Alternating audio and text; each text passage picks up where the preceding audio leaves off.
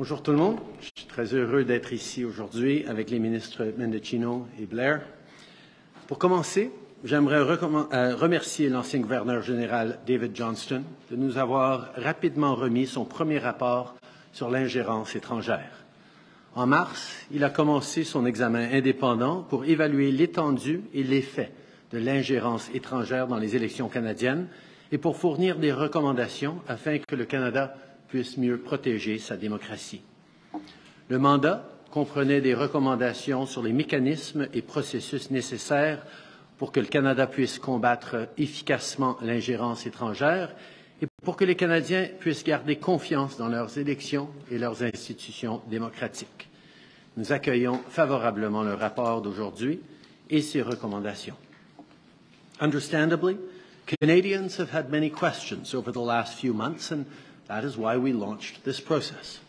The former Governor General has reviewed thousands of pages of classified and unclassified documents.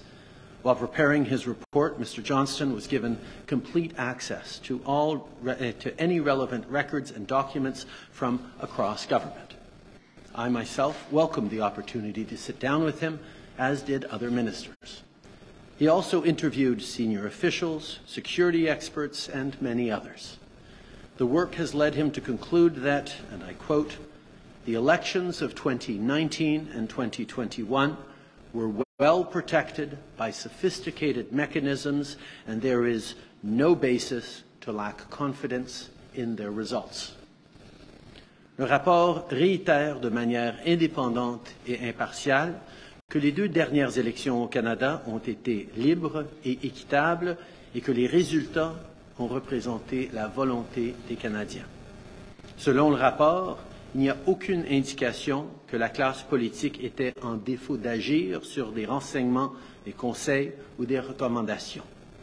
Toutefois, le rapport indique que l'ingérence étrangère représente une menace grave et il contient plusieurs recommandations sur les processus visant à détecter, à dissuader et à contrer les tentatives d'ingérence et à mieux gérer la circulation d'informations au sein de la fonction publique. Nous acceptons ces recommandations. L'ancien gouverneur général a déterminé que la prochaine étape de son travail consistera à tenir des audiences publiques. Nous soutenons ce travail sans réserve, y compris l'intention du gouverneur général de créer un dialogue avec les Canadiens, en particulier ceux issus des communautés de la diaspora qui sont souvent la cible de tentatives d'ingérence. Ce travail est essentiel pour l'élaboration de son rapport final. Conformément aux recommandations, l'OSSNR et le CPSNR examineront la partie confidentielle de ce rapport afin qu'ils puissent fournir leur propre évaluation.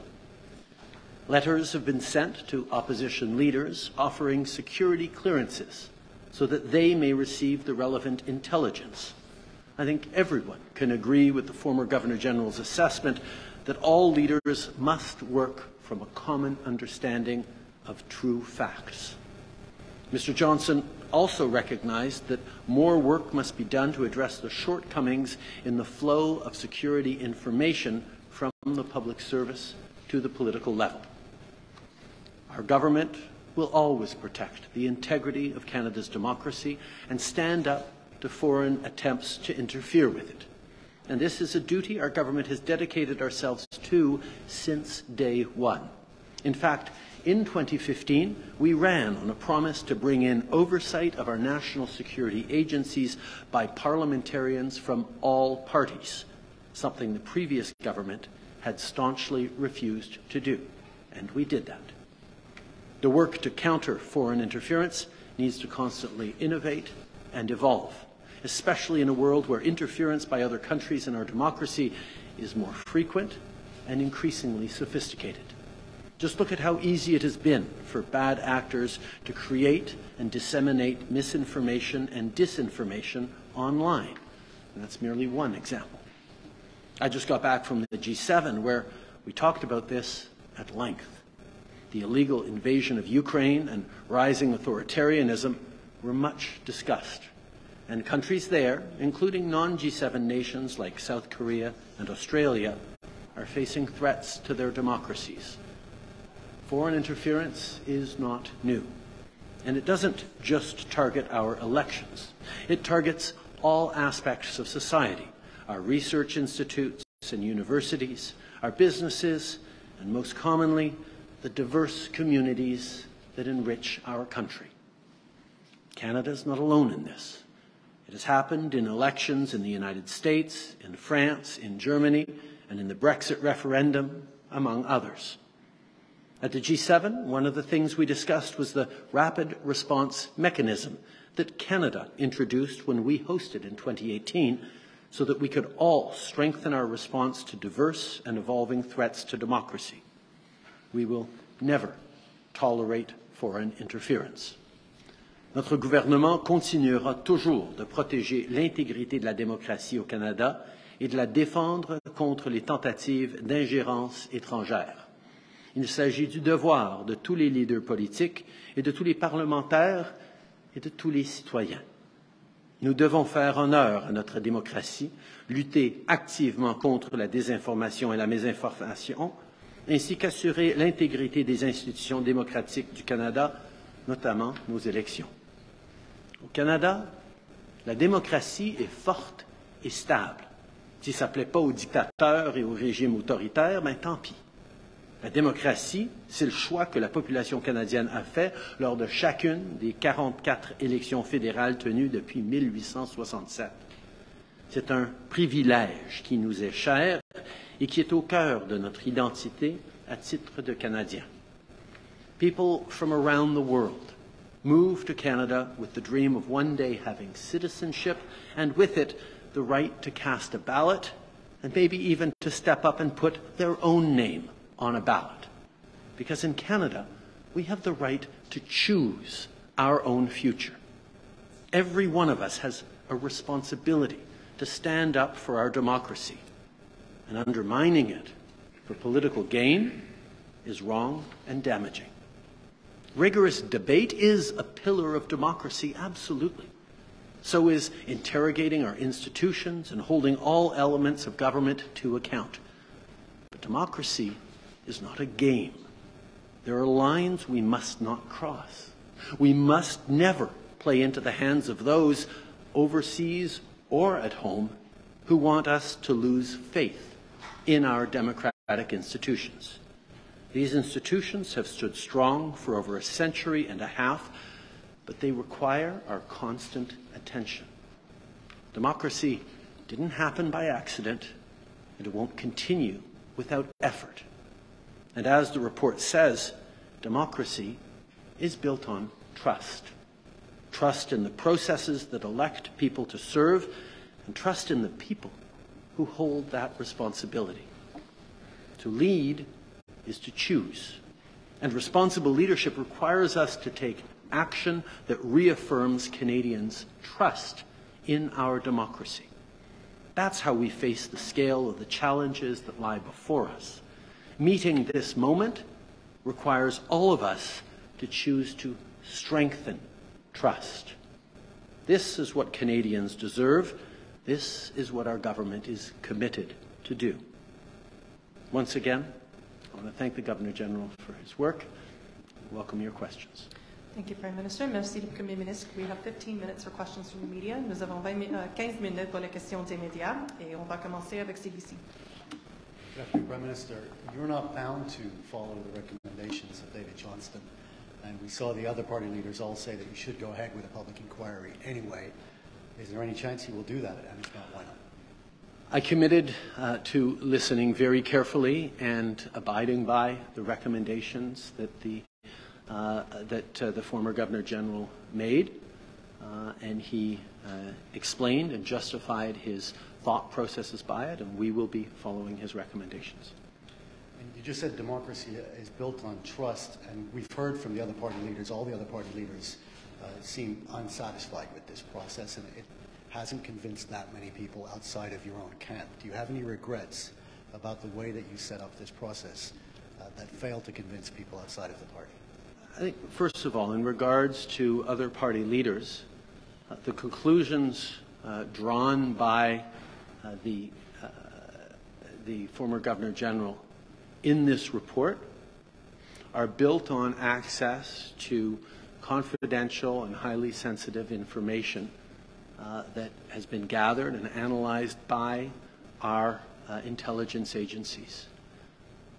We have offered, I sent off letters a few hours ago, to all the different party leaders, offering them to get the necessary security clearances to be able to look at all the relevant raw intelligence so that they can see that the foundations and the analysis and the conclusions of this report are firm. I think all Canadians are rightly concerned not just about foreign interference, but about misinformation and disinformation. And that's where making sure, yes, we have robust debates about whether or not governments are doing enough or everything necessary to keep Canadians safe is an essential part of democracy that I look forward to continuing in this House and in the public square. But I think the foundation of having those rigorous debates in a way that contributes to democracy is to make sure that there is an access to and understanding of the true facts. And I certainly hope that all party leaders will avail themselves of the opportunity to understand the facts of the situation as we continue important debates on how to best keep Canadians, our businesses, our research institutions, and especially our democracy safe. Next question. Good afternoon, Prime Minister Touria Izri, Global News. Uh, David Johnston was asked repeatedly this morning about his relationship to you and whether he could remain impartial and even the perception of bias. Will you consider appointing someone else to lead this process so that Canadians trust the eventual findings? I think David Johnston answered uh, those questions uh, extremely uh, well this morning in his uh, in his exchange with the media. Um, I saw him a few times as a kid. I got to know him after he was appointed Governor General uh, by Stephen Harper. Uh, once I was already a parliamentarian, and quite frankly, the quality and the caliber, not just of his decades of extraordinary service to this country, but the quality and caliber of the report he's put forward leaves me in total confidence in his ability to continue to do this important work for Canadians. And given the uh, reaction from opposition leaders, are you concerned at all about the political risk of not holding a public inquiry?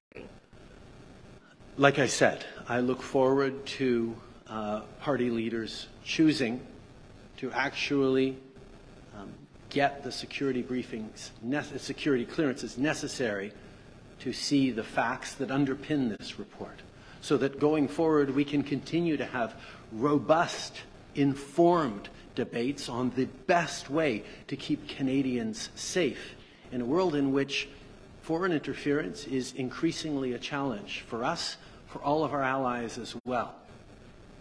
I don't think Canadians would want or expect any of their leaders to choose ignorance when they can choose to have the facts laid out for them. And I can assure you, in our democracy, there are always going to be plenty of things to criticize a government on and to challenge us to do better. But let us, please, ground it in an understanding of the true facts and not choose to risk weakening Canadians' confidence in our institutions by building partisan attacks on things that are patently untrue. Prochaine question. Bonjour, M. Trudeau, Madeleine Blémorin, Radio-Canada. Vous dites que la démocratie repose sur la confiance dans une enquête ou une révision, un travail qui est basé sur des renseignements qui sont confidentiels, il faut nécessairement avoir confiance dans la personne qui mène cette enquête-là. Vous, vous dites, M. Johnston, c'est un imminent Canadien. Mais si l'opposition dit qu'elle n'a pas confiance en cet homme-là, est-ce que tout le processus, finalement, est annulé à cause de ça? Non, pas du tout. Et pour deux raisons claires. Tout d'abord, parce que, et c'est la proposition même de M. Johnston, euh, la, euh, le, la comité de sécurité et d'intelligence des parlementaires va pouvoir regarder le rapport et tous les renseignements secrets et confidentiels qui sont euh, sous-jacentes et qui sont le fondement des conclusions dans ce rapport et faire une analyse s'ils sont d'accord ou non avec ces conclusions. Et s'ils ne sont pas d'accord avec les conclusions qu'ont tirées M. Johnston, ils vont pouvoir le dire.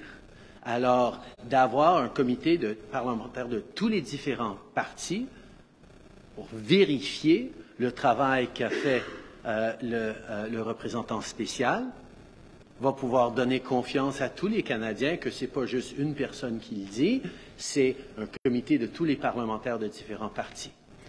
Et en plus, on est en train d'offrir, ou j'ai offert déjà, à tous les chefs de parti de euh, se faire, de faire le processus pour avoir le niveau approprié euh, de, sécurité pour pouvoir voir les documents et l'information, l'intelligence à la base de ces conclusions et de tirer leurs propres conclusions sur euh, la véracité du rapport de M. Johnston. Donc, ce n'est pas une question de demander à tout le monde d'avoir de, confiance dans une personne, même si c'est une personne dont l'intégrité ne peut pas être questionnée et qui a été choisi pour être gouverneur général par M. Harper, euh, qui a démontré des années de service.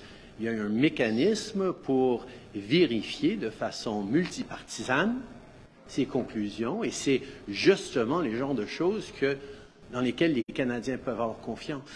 Tout le monde comprend que quand on arrive à des instances de sécurité nationale, on ne peut pas publier sur la place publique, dans les journaux, toutes les informations confidentielles qui sont liées à notre sécurité nationale.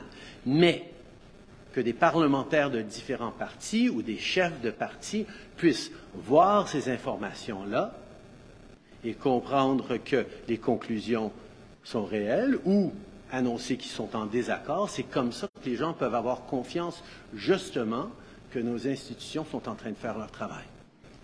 Il y a M. Blanchet qui voudrait déléguer un député pour revoir, voir l'annexe du rapport. Est-ce que vous le permettriez? Puis, dans, son rapport, M. Johnston dit, bon, ça ne vaudrait pas la peine d'attendre un peu plus longtemps. Il y aurait du chevauchement. Un, enquêteur d'une commission d'enquête publique n'irait pas plus loin que moi, n'aurait pas besoin des, des, euh, des pouvoirs d'une commission d'enquête. Est-ce que ces arguments-là, M. Trudeau, font le poids par rapport à la confiance du public dans le système? Ben, euh, tout d'abord, euh, M. Blanchette a déjà un représentant qui siège sur euh, le comité de parlementaire qui a exactement ce niveau de sécurité nécessaire, mais encore mieux, on offre à M. Blanchette directement la capacité d'obtenir le niveau de sécurité nécessaire pour qu'il puisse regarder lui-même l'intelligence qui est au fondement des conclusions de ce rapport. Deuxièmement, euh, M. Johnston explique euh, très clairement son raisonnement pour euh, pourquoi il trouve qu'une euh, enquête publique euh, n'arriverait pas à plus de réponses que ça. Euh, par exemple, le, la capacité d'exiger la parution d'un témoin.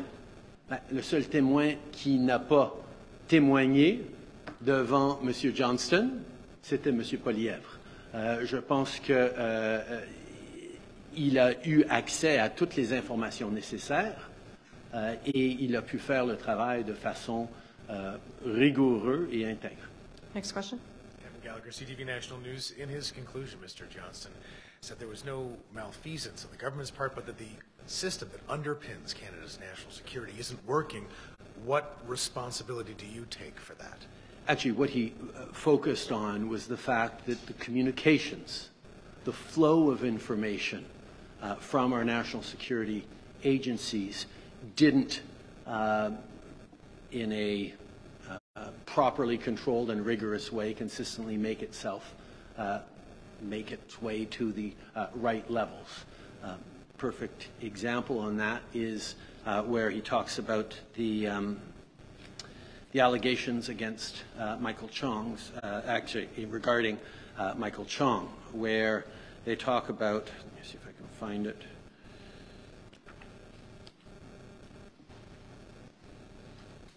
Here we go.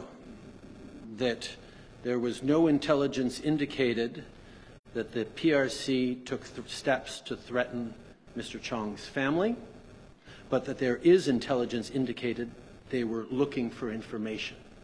Well, the fact that there was in, in intelligence indicating that the PRC was looking for information into uh, Mr. Chong's family should have made it up to the highest levels, even if there wasn't any intelligence indicating that there were steps to threaten his family.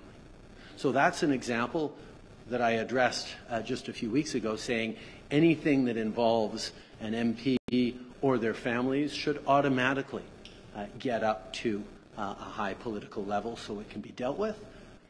These are the kinds of things we need to ensure that there is more rigor uh, and clearer flows of information, both upwards but also across government. And that's uh, something that we're going to be continuing uh, to uh, improve. But as has been highlighted, foreign interference is a constantly evolving, increasingly sophisticated set of threats to Canadians, to our institutions, um, and to our democracy. And that's why we are constantly going to have to be iterating and improving in our response to foreign interference. Euh, une des conclusions du rapport, ça a été que nous devons améliorer la façon que nos services d'intelligence et de renseignement communiquent les uns avec les autres, mais aussi avec les niveaux politiques. Par exemple, euh, dans le rapport, on euh, M. Johnson euh, souligne qu'il y avait de l'intelligence qui... Il n'y avait aucune intelligence qui suggérait que Pékin faisait des menaces à la famille de M. Chong, mais il y avait de l'intelligence, des renseignements qui disaient que Pékin cherchait de l'information sur la famille de M. Chong. Eh bien, ça, c'est un morceau d'information qui, même s'il n'y avait pas de menace contre la famille de M. Chong, juste le fait qu'il se soit intéressé à la famille, on aurait dû le savoir. Et donc, on a besoin d'améliorer les processus de, suivi pour que euh, les politiciens soient au courant s'il y a quelque enjeu qui implique euh, des députés ou leurs familles. I just said that in English already. It's okay. Double translation. Okay. Um, I'll just uh, refocus here for a second. So, you're offering this intelligence now to opposition leaders, but a lot of what's undermining the confidence is a lack of transparency. Is there any consideration for declassifying documents that would give Canadians more confidence to understand a broader picture, even if it's redacted as it was in the commission for the convoy? Uh, in terms of declassification, that's absolutely something uh, that Mr. Johnston uh, is going to be looking at uh, over the coming months towards his final report in October of 2023, and we're very much looking forward to those conclusions. But let me highlight that one of the ways that we get to restore people's confidence in what our intelligence communities are doing when obviously total transparency is simply not an option uh, for uh, for uh, uh, intelligence services whose people put their life on their line on the line to protect uh, Canadians from bad actors out there is to ensure that politicians of all different parties are able to oversee and get the clearance necessary to look at everything our intelligence agencies do. And that's a commitment we made in 2015 in the election, where the incumbent Conservative government refused to bring in oversight by parliamentarians over our uh, intelligence agencies, and we actually did it. NSICOP is a committee of parliamentarians that has the power to look into everything our intelligence agencies do. Now, they are bound by the uh, secrecy necessary to keep Canadians safe, but they can and do, they can and do absolutely share their conclusions around what's working, what's not working, and whether or not Canadians can be concerned uh, or should be relieved that intelligence agencies are doing their work. Uh, so it is a functioning piece of democracy that gets to that question of how do we make sure that those folks out there or in the shadows protecting our democracy from dangerous actors are kept safe while they do our job, their jobs, and parliamentarians and Canadians can be re reassured that parliamentarians from all different parties are looking closely to make sure that they're doing everything necessary to keep Canadians safe. Thank you. That will conclude today's press conference. Merci. Ça va. Take it. Sorry, I'll take, I'll take a question from Justin because I haven't seen him in a while. Appreciate that. Um, Prime Minister, uh, the report uh, does indicate that Han Dong, a former Liberal MP, um, was the unwitting beneficiary probably of the influence campaign on his nomination race. Uh, it indicates he went on to forge a relationship with the Chinese consulate in Toronto, and it said he was having conversations with the consulate about the two Michaels in detention in China, uh, even if some of the reports were incorrect. Um, can you tell us what the nature of those conversations were, and do you see a path back into the Liberal caucus for Mr. Dong? I think on this point, um, the report by Mr. Johnston was fairly unequivocal um, that there were uh, false allegations uh, made against Mr. Dong, and I look forward to having conversations with him. Uh, he decided to step away from caucus in order to clear his name. Um, I will hear from him on what his thinking is going forward. Okay. Uh, Je pense que le rapport de M. Johnston a été très clair qu'il euh, y avait euh, des euh, faussetés dans les allégations contre euh, M. Dong. Euh, comme vous savez, M. Dong a choisi euh, de se retirer du caucus pour pouvoir lutter contre ces allégations. je vais sûrement avoir une conversation avec lui sur comment il se trouve en ce moment-ci et c'est quoi ses réflexions pour les prochaines étapes.